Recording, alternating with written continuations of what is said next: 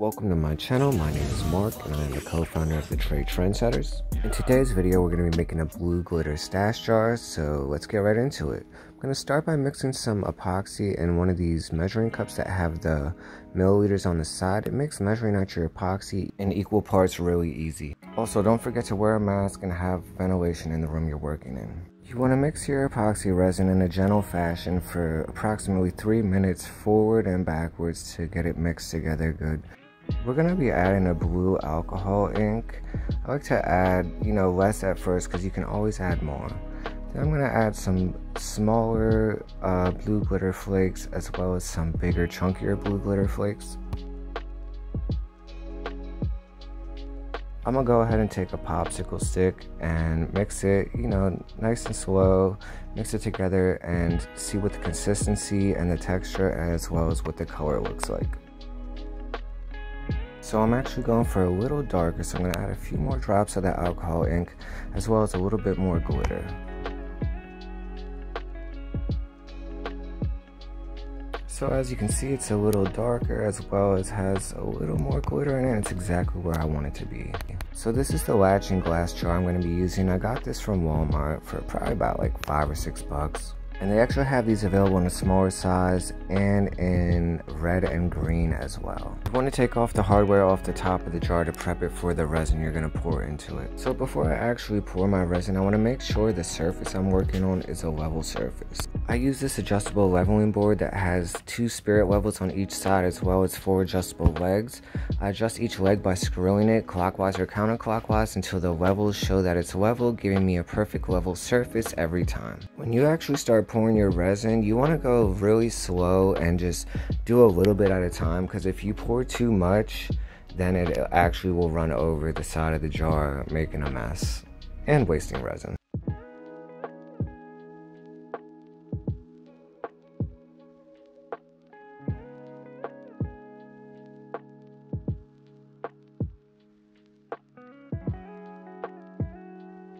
Typically like to go ahead and first make sure I have enough for the bottom part of the jar and then put the rest of the remaining resin into the lid of the jar.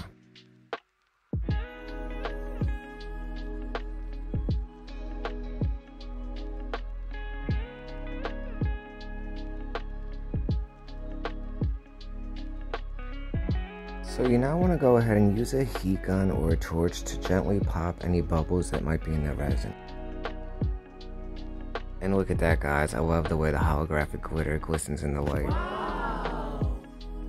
So you always want to make sure you cover your project while it's curing to keep out any dust or debris.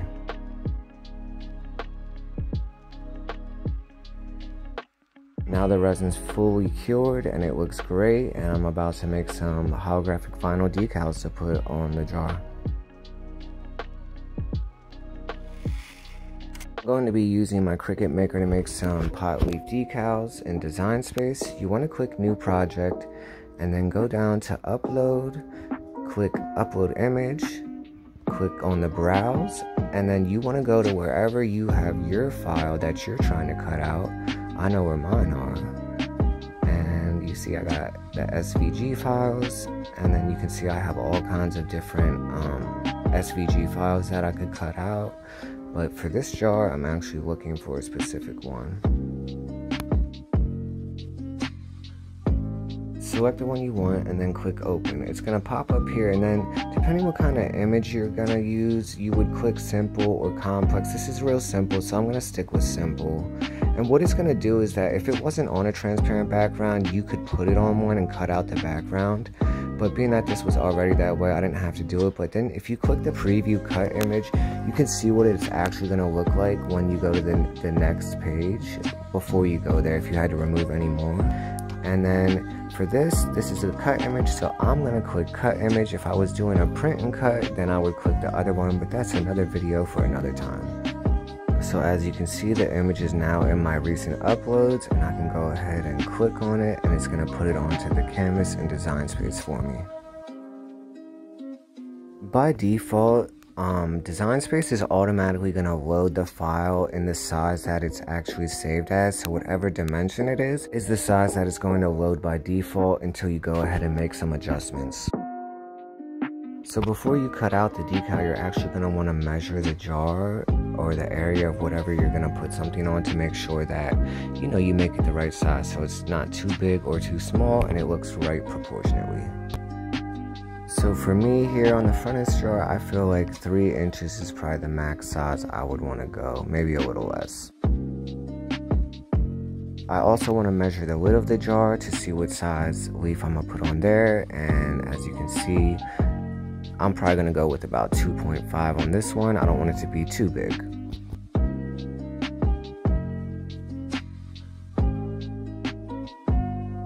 So there's actually two different ways that you could change the size of your image.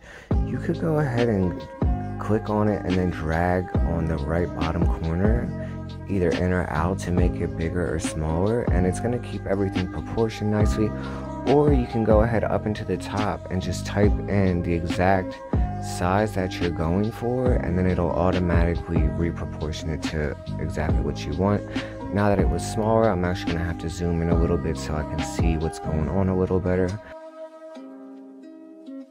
So as you can see I decided to end up making the front decal 2.9 inches So being that I actually need two decals for this jar, the front and the top, I'm going to go ahead, right click on it, click duplicate, and that'll make an exact copy of what I actually have on the screen. But as you've seen earlier, the top of the jar is a little smaller, so I'm going to want to go ahead and readjust the size on the second decal to make it a little smaller so that way it'll fit onto the lid the way that I would like it to. So now after looking at both images side by side, I decided to just go ahead and bump the bigger image just up just a little bit to 3 inches just to make the proportions just a little more distinct from one another.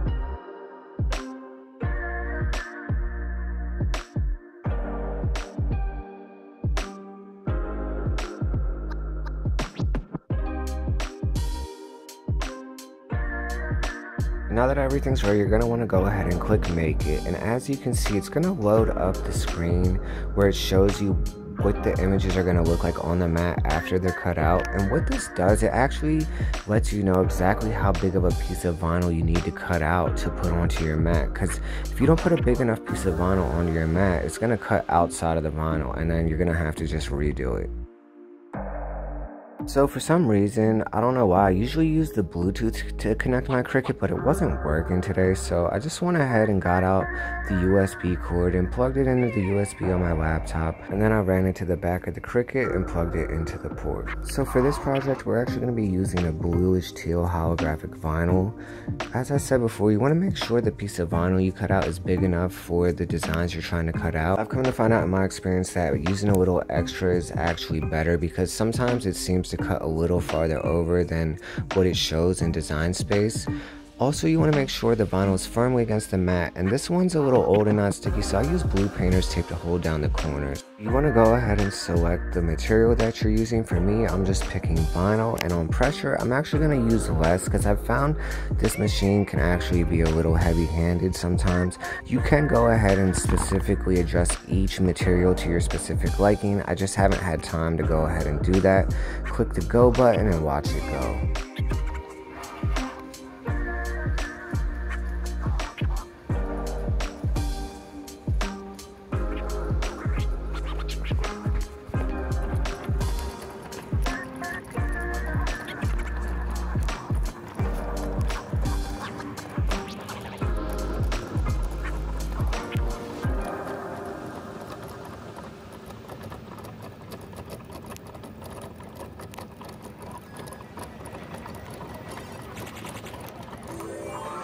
Your fighter.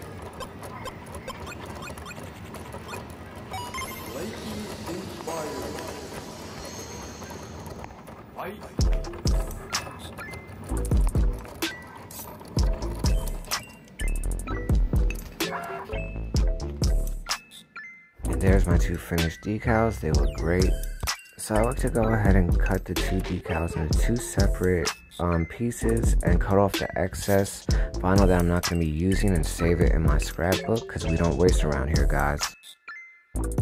Weeding is one of those things where you'll just learn your technique over time, but it's like If you have your machine set on the right settings, weeding is really easy, but let me tell you, if your machine is not set on the right setting, weeding could be a nightmare and you would probably want to throw it out the window and think it's a piece of crap and not even want to use it no more.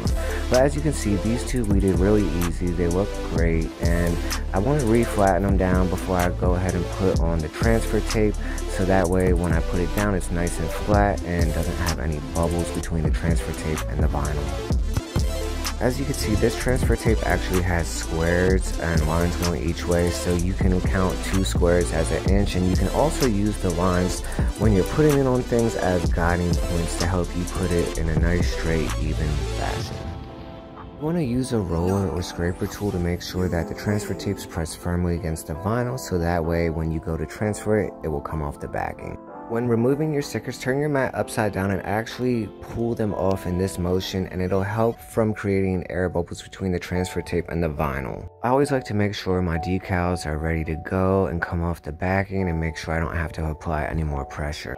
You always want to make sure the surface you're applying your decal on is nice and clean from grease or debris. I like to use 91% alcohol to wipe the outside of my jar to remove any grease or anything like that and it helps create a nice secure application that will stay permanent. If it's dirty or has oil on it, you might start getting lifting corners and it just doesn't look good guys. So you'll notice on the jars here, there's actually these two lines that are like, I don't know, I think they're like seams in the in the jar or however they make them.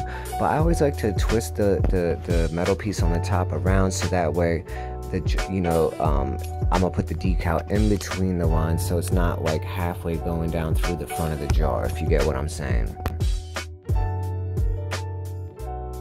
As I previously stated, you can see the lines on the, the actual transfer tape, and you can use these lines to uh, help position it on the jar and make it straight up and down or horizontal. Um, so I just used the ruler and remeasured it just to have an idea of like the width of it and what it's gonna look like where I place it onto the jar. So you see I use my little tool to hold the jar still and then I'm going ahead and placing the decal in a nice straight position. And before I actually place it on there too hard I kind of just stick it on there and look at it and make sure I like where it's at. And then I just use my finger and rub each part just nice and slow and a nice even motion pushing from the, the bottom up to the top not to cause any air bubbles or anything like that. And now that I have it down a little more I'm to go ahead and use my scraper tool to firmly push it against the glass. By actually pushing it like that you're actually activating the permanent adhesive in the vinyl itself. So you want to definitely take your time and make sure you put in enough pressure you want to pull the transfer tape away down close in a nice gentle fashion and keep it as close to the jar as possible when pulling away as to not cause air bubbles. As you can see, it looks awesome. There's no air bubbles. It's nice and straight and it looks amazing. So go ahead and just rinse and repeat. Do the same thing for the lid of the jar, just like we did on the front of the jar.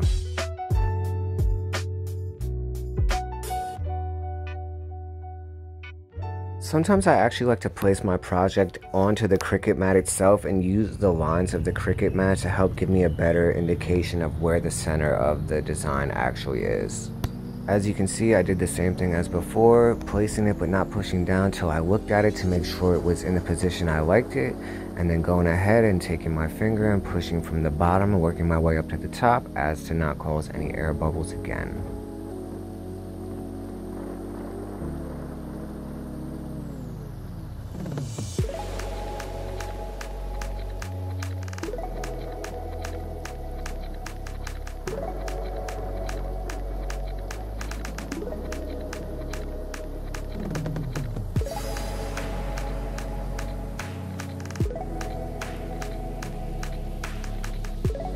See I'm taking a lot longer this time with this one. It's because the tool itself is a lot bigger than the lid. So I actually had to go in there and make sure that it that it was down there. And as you can see, corner there was lifting up. You want to always make sure you, you don't just rip off your decal because the, the little bottom leaf there actually wasn't sticking to the uh, lid. And if I would have just went and go ahead and just ripped it off, it would have just took that piece right off with it. I might have been able to save it, but you know, it's not a guarantee that I would have. And at the end of the day, we're not in the business of having to do things over around here. So if we do it right the first time, then we definitely don't got to worry about it the next time. And as you can see, it's still giving me trouble even after all that. So what I'm gonna do, I'm gonna just go ahead and try pulling it from the other side and as you can see when I pulled it from that side nothing lifted. And when I came from the other direction it kept it nice and flat. And I'm just gonna go ahead and take my finger and rub it again. And here's both of them at the same time. They look great. So now it's time to mix up some more epoxy resin to dome the lid of the jar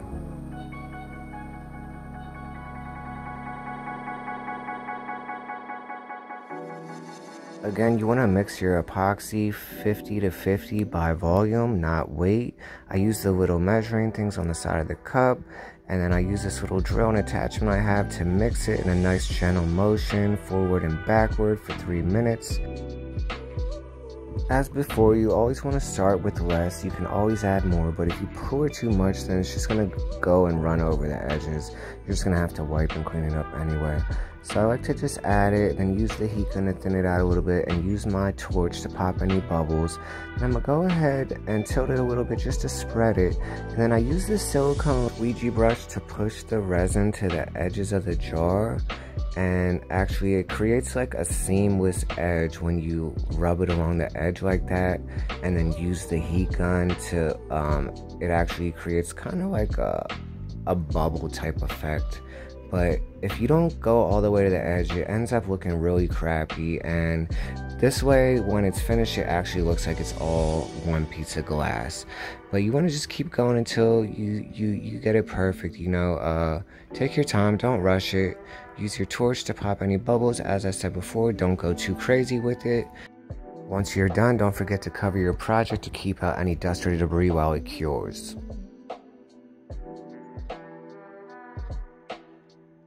And look at that, guys.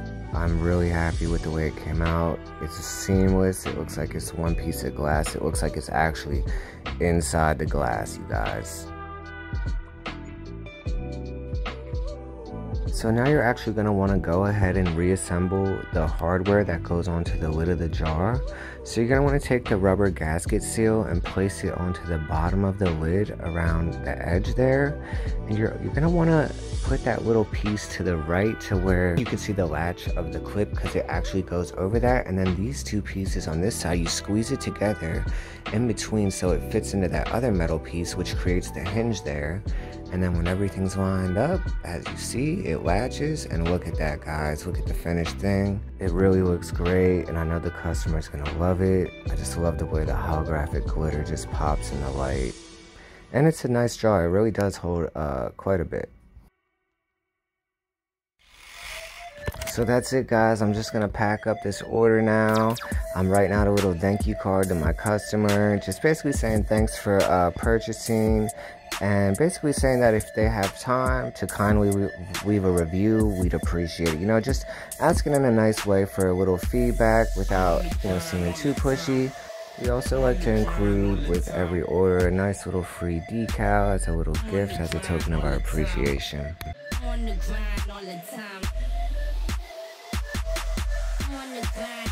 Definitely want to make sure that your item is wrapped up in bubble wrap because I don't know about you guys, but I've definitely had my fair share of bad experiences with the post office and having things sent out be broken. So you want to make sure that even if your package is thrown off the top of a building, that it's going to be okay. As you see, I put extra bubble wrap inside, the thank you card on top, so that's the first thing the customer sees when they open it. And I put two fragile stickers on the side just as good measure the shipping label on the top, and then that's it. It's ready to go. If you feel like you got any value out of this video, please like, comment, share, and subscribe.